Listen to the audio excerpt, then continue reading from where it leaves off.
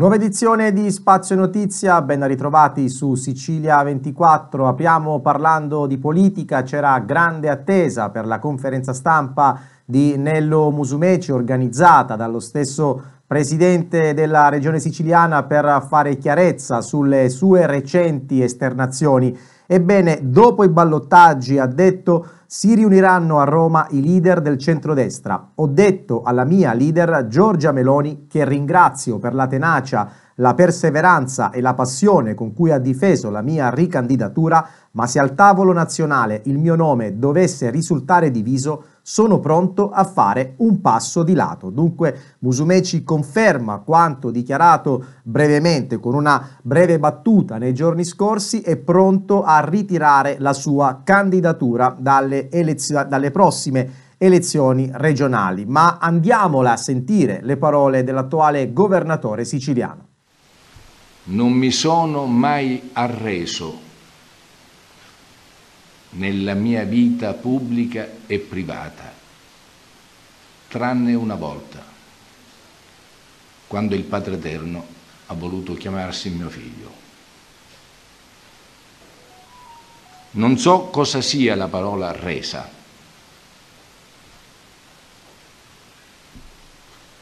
Non è una resa la mia. E neanche la voglia di mollare. Perché io non mi dimetto, ho un, un impegno col popolo siciliano che ho assunto quando mi ha eletto cinque anni fa e fino all'ultimo giorno servirò la mia regione e il popolo siciliano nei suoi legittimi interessi, rimanendo con la schiena dritta, con la stessa integrità morale e con lo stesso entusiasmo del primo giorno. Andrò in giro per la Sicilia in lungo e in largo a programmare, ad aprire cantieri e a inaugurare nuove opere. non è una resa. No, amici, non sto mollando. La mia è una scelta di responsabilità. Lo so che la responsabilità oggi è un arnese fuori uso, ma io continuo ancora a tenerlo e a conservarlo fra gli attrezzi più importanti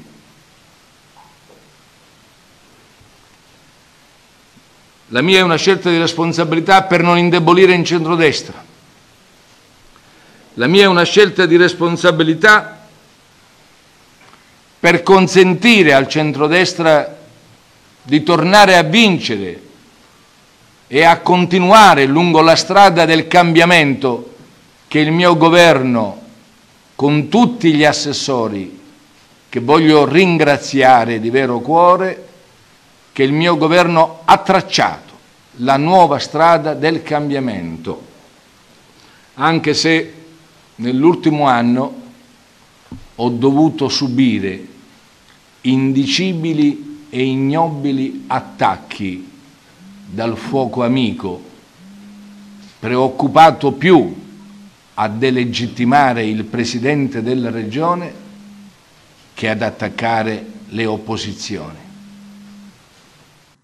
Ed ora la cronaca con una prima notizia da Noto. La Guardia di Finanza ha eseguito un decreto di confisca di polizze, beni mobili e disponibilità finanziarie per un valore di circa 450.000 euro nei confronti di una coppia appartenente alla comunità nomade dei cosiddetti camminanti di Noto. Nel corso delle indagini coordinate dalla Procura di Siracusa è emersa una sproporzione tra la situazione reddituale dei, dei due e i beni e le disponibilità finanziarie a cui gli stessi avevano accesso direttamente o attraverso interposta persona. Dagli approfondimenti investigativi dei militari della tenenza di Noto è emerso, secondo l'accusa, che i coniugi, con precedenti per truffa, estorsione e furto, vivevano abitualmente con i proventi delle attività delittuose, mantenendo un tenore di vita al di sopra delle proprie capacità reddituali. Tra i beni confiscati anche polizze assicurative di un valore superiore a 100.000 euro. Ed ora torniamo a occuparci del caso di Acireale, il duplice omicidio di Acireale perché eh, c'è una svolta importante nelle indagini. È un agricoltore, Giuseppe Battiato, l'uomo fermato dai carabinieri della compagnia di Acireale nell'ambito dell'inchiesta della Procura di Catania sul duplice omicidio scoperto ieri in un fondo agricolo di Contrada Pennisi. L'uomo avrebbe ammesso le proprie responsabilità motivando il gesto con l'esasperazione per il continuo ripetersi dei furti di limoni nel suo agrumeto.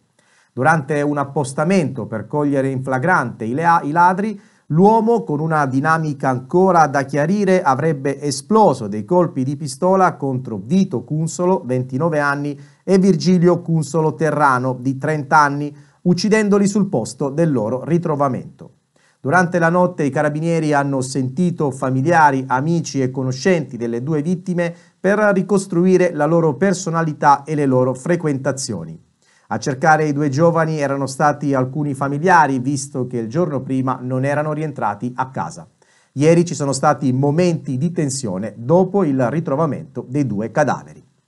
Ed ora invece a Lentini, dove i carabinieri della locale stazione, nel corso di un servizio di controllo del territorio, hanno sorpreso un pregiudicato lentinese di 35 anni, sorvegliato speciale, che in trasferta nel limitrofo comune di Carlentini stava in compagnia del figlio tentando un furto all'interno di due garage condominiali dopo aver rafforzato le serrature delle saracinesche con un trapano. Il 35enne al quale è stato sospeso il reddito di cittadinanza è stato anche deferito per la violazione della sorveglianza speciale poiché trovato in un comune diverso da quello di residenza. E da Lentini ci spostiamo virtualmente a Mazzara del Vallo, continuiamo a parlare di cronaca. I carabinieri della compagnia di Mazzara del Vallo hanno deferito in stato di libertà sei persone per varie ipotesi di reato. In particolare a Vita i carabinieri della locale stazione hanno denunciato un 65enne il quale avrebbe effettuato un allacciamento abusivo alla rete pubblica di fornitura di gas metano a favore della propria abitazione, previa violazione dei sigilli, con un danno economico ancora in fase di quantificazione. A conclusione della verifica, grazie al supporto di personale tecnico specializzato della società erogatrice di gas metano, è stato rimosso l'allaccio abusivo con il contestuale ripristino dei sigilli e della sicurezza di tutto l'impianto. Ed ora invece una notizia da Enna dove il questore ha emesso un decreto di sospensione per la durata di 15 giorni e di contestuale chiusura di un esercizio pubblico sito in un comune della provincia. Il decreto in argomento scaturisce dall'attività di indagine svolta a seguito di diversi episodi di violenza avvenuti all'interno del locale, a seguito dei quali alcune persone avevano riportato delle lesioni, fatti avvenuti anche nei primi mesi dell'anno in corso. In uno dei suddetti episodi, a seguito di una lite scaturita all'interno del locale, uno dei due soggetti coinvolti è stato ripetutamente colpito alla testa con una bottiglia di vetro. Ed ora invece a Palermo dove la Polizia di Stato ha arrestato un 46enne sorpreso a rubare batterie da una cabina dell'Enel.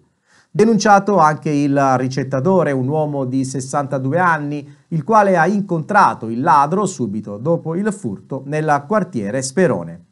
Gli agenti del commissariato Brancaccio hanno trovato nell'officina dello Sperone, risultata tra l'altro abusiva, altre 8 batterie dell'Enel e due bici elettriche. Per il 46enne è stata disposta la misura cautelare dell'obbligo di presentazione alla polizia giudiziaria. Ed ora ci occupiamo dell'omicidio di Graziella Campagna. Molti di voi sicuramente ricorderanno questa vicenda, vicenda avvenuta comunque tanti anni fa, il 12 dicembre del 1985.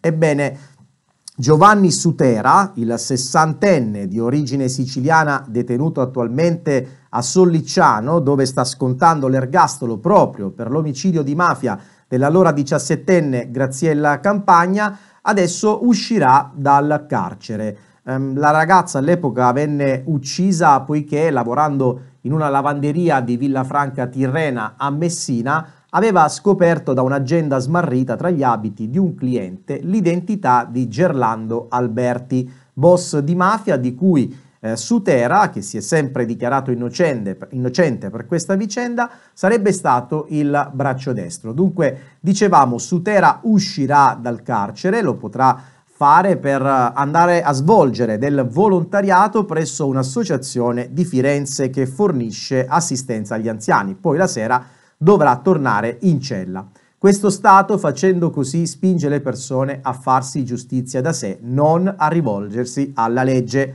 A parlare è Piero Campagna, parole chiaramente di comprensibile amarezza. Se le persone, ha aggiunto, si rendono conto che non è possibile ottenere giustizia, si sentono impotenti. Non mi sento rappresentato da questo Stato.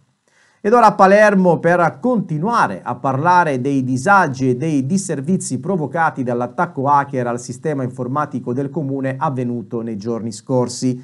Ci sono ancora degli uffici paralizzati a Palermo, settori della polizia municipale che sono parzialmente bloccati dopo l'attacco che ha messo fuori uso i computer dell'amministrazione comunale.